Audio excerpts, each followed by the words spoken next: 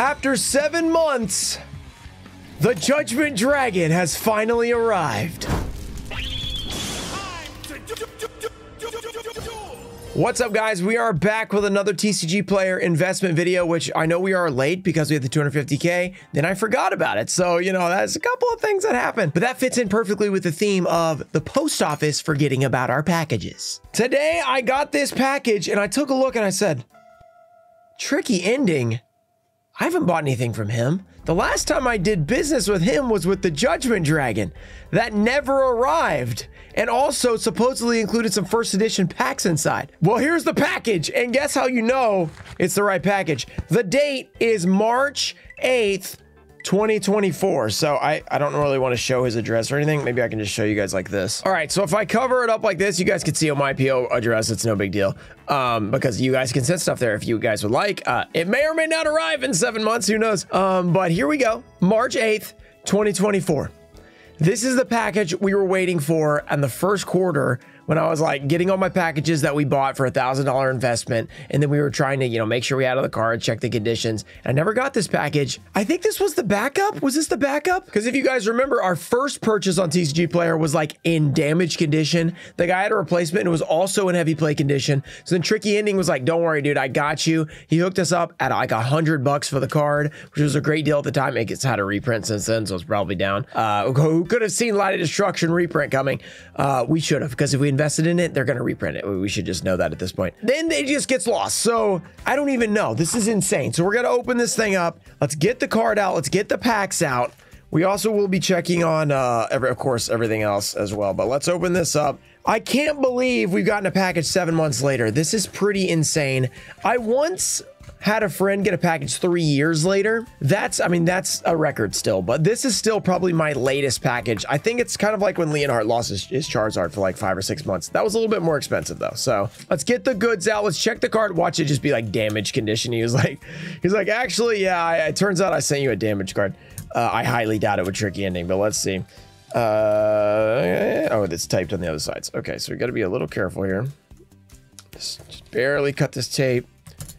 All right. Okay, there we go. We have 99 per. Oh, these were heavy. That's right. He sent a heavy booster pack. And then here's the first Edge JD. This was the number one card I was most excited about in our investment because I just like the card. I think it's really cool. I don't own it. I was like, look, if it goes down, who cares? Because I'll at least have the card now, you know? So it was kind of like a win-win except for if it gets lost. That was kind of like the win-win loss there, you know, the third option you weren't thinking of. So let's check out the card. I'm sure it's going to be in great condition, especially compared to the ones we've seen before. Beautiful. I These are the same sleeves that I got. I once got this giant collection and it had double sleeves just like this. So that's kind of interesting. That was like four years ago. Let's see about this card. Judgment Dragon, secret rare. Front looks absolutely great.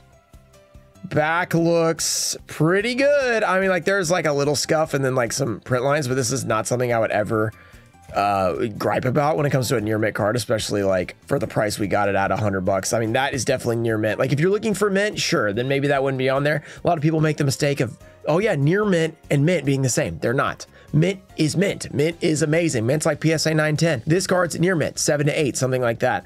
Really, really great shape. Tricky ending seven months later.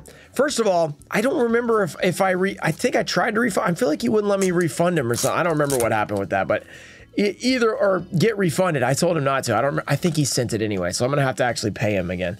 Uh, I'll have to double check with that, but we'll make sure that it all works out. But uh, he's been he was super chill, even though it got lost. So this is supposed to be heavy. We're gonna open this up for the video because you know we got to do it. Then we're gonna check in on all the other prices, see we, how we're doing. So here we go. Heavy pack. If this has a gosher in it, I mean, he sent this for free, by the way. So He's a madman. Uh, so yeah, hopefully we get something great. It'd be really fun. One, two, three. I think it's flippity flop on the first head, but it could. I'm not sure. Let's just go for it. Okay, one pack. Not necessarily an opening video, but we are going to open one pack. We have Relinquish Spider, Regulus, first edition Ghost Rare in here is like 750 bucks or something near mint, so really big. Uh, Archlord Kristya, we have pulled once before, got damaged, so kind of would fit the theme. Inherited Fortune. Okay, it looks like a foil. Fortune's Future. I feel like I've pulled this out of first edition Stardust Overdrive many, many times. So it is a super rare, not a crazy card. It was heavy, so that's correct. All right. let's get to the prices. I'm very happy we finally got our Judgment Dragon. All right, guys, let's check in on our prices. And uh, I went ahead and did 2022 and 2023 ahead of time because there are so many prices. So we're going to do a quick overview of 2022. One thing I want to note is one card made money. The Evil Hero, a Dusty Gold, for the first time since we bought it, has actually gone up in price. It is now worth 3% more than it was worth back when we bought it in year one. It is now $13.40. We bought it for $12.99, but including, you know, shipping and tax and all that we're still losing money, but it did go up. Everything else is brutally low. Check this out 80%, 60%, 55, 72.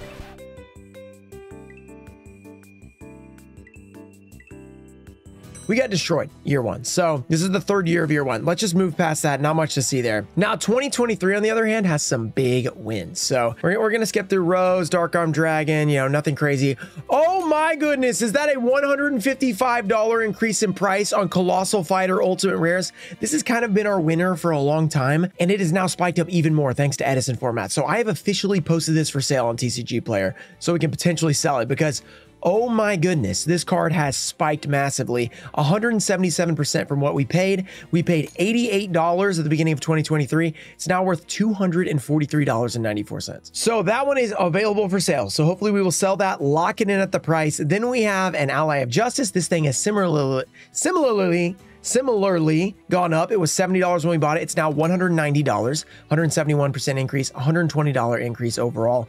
Put that one up for sale as well because these two, if we can sell at that price, we're going to be super happy, more than doubling our money. As for the rest of everything, we lost a little bit of money here. That one we locked in, uh, the Traptrix Trap Hole Nightmares.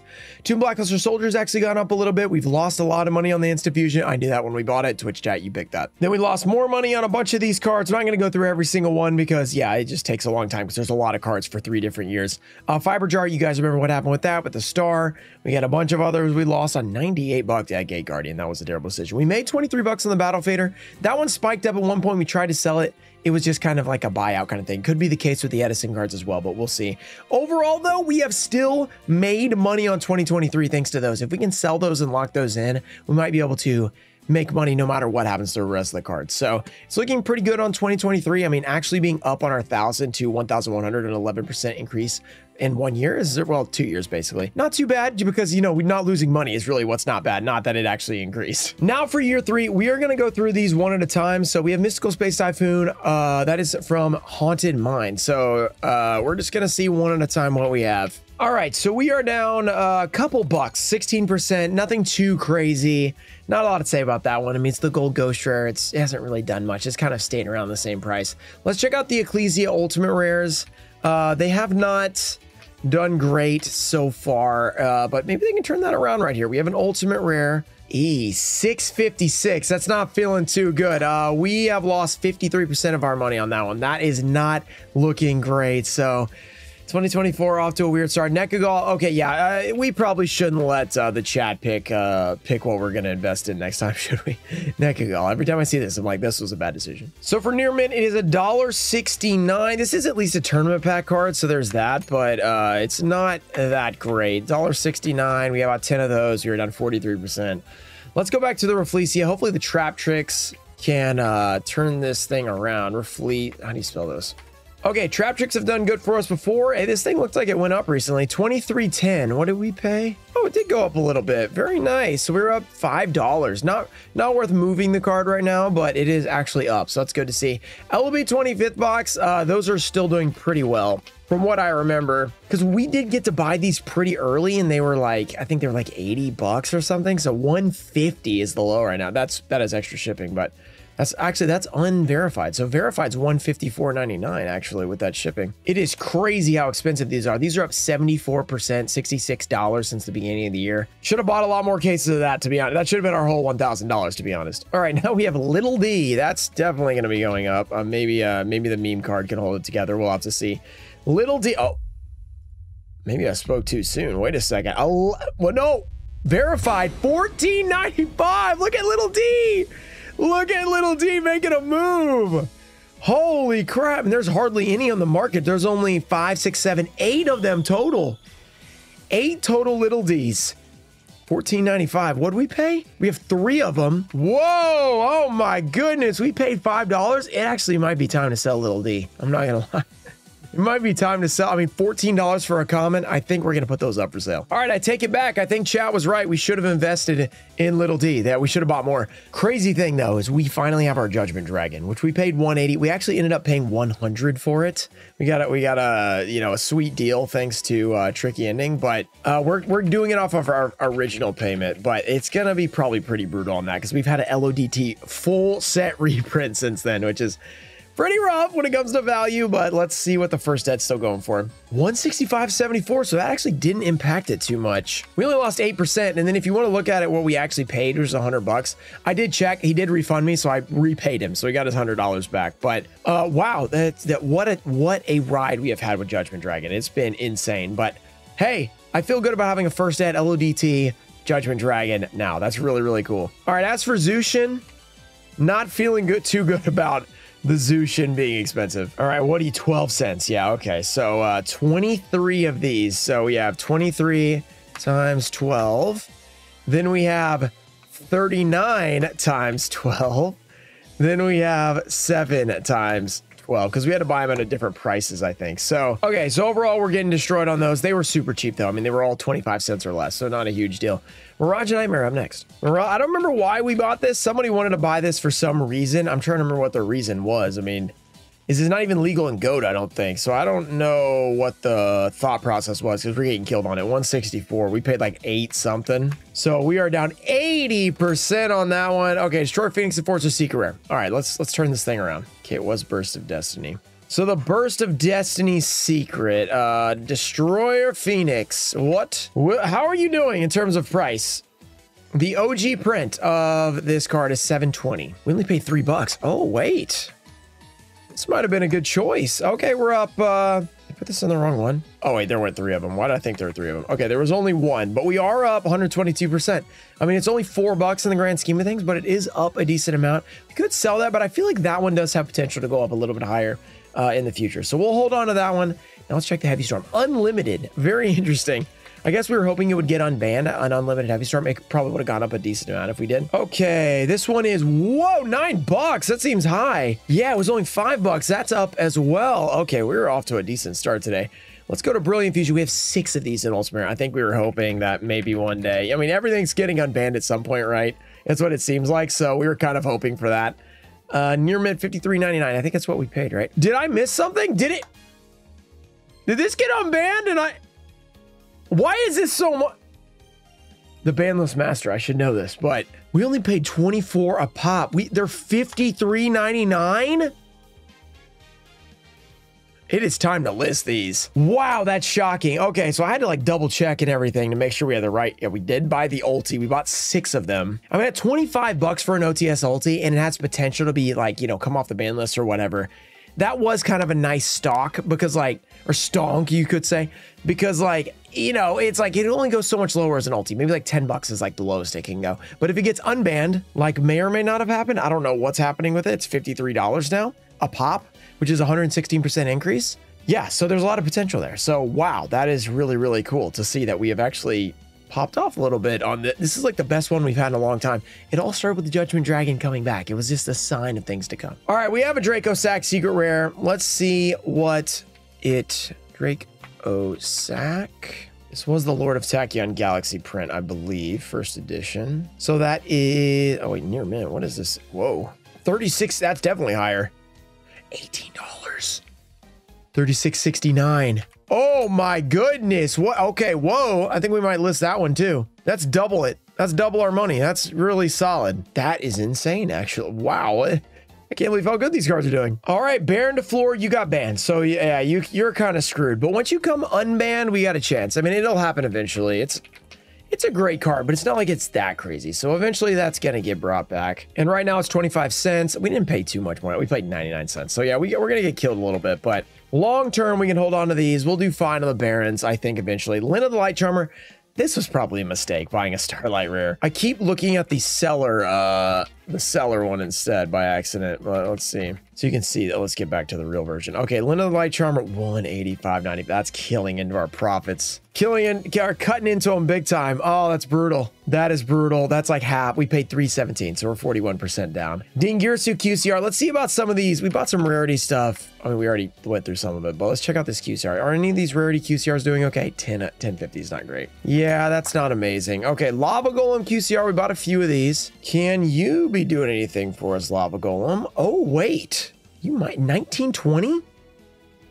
We paid $20 a piece? Oh my gosh. Ouch. I thought we made money there, but I guess they were expensive immediately. Okay. All right. Evenly matched. Let's check on the evenly matched. I was getting hopeful there. But It hasn't actually lost much there, but okay. You are evenly matched. Uh, 74 cents. We lost a cent. We lost a cent right there. Wait. Oh, there's two of them. That's right. Okay. So we lost two cents. We lost 1%, 2 cents. Lightning Storm Ultra isn't, yeah, that's, I mean, that's probably not doing too great, but you never know. Why, oh, $1.47, wait. Oh, wait a second. We made a little bit of money on our Lightning Storms. Not worth shipping for a stamp, but you know, it's it's going up, up 50%. I'll take that. Now reasoning, prismatic. I don't, I guess this was goat. Was that the, was that the reasoning behind it? Ah, ah, okay. I'm sorry. 49 cents. Oh boy. Yeah, that's not great. Okay, but but we are actually up 85 bucks with our big purchase, the Starlight doing terrible and Judgment Dragon also being down. Actually pretty surprising. So between, so we lost, we get, or we made about 85 bucks in year three. We made over 100 bucks in year two. You go back to year one, that's where it all falls apart because, okay, we need to mess this up. But yeah, once you go back to year one, it all falls apart. We're down 52%. I mean, we are down over $500 from that. I mean, this was a we made terrible, terrible decisions. It was our first time. So what do you expect? Didn't go well, but year two and year three have both been better. I also took in uh, you guys' opinion on Twitch, and I think a lot of you guys' suggestions really good, like the Brilliant Fusion. That was you guys.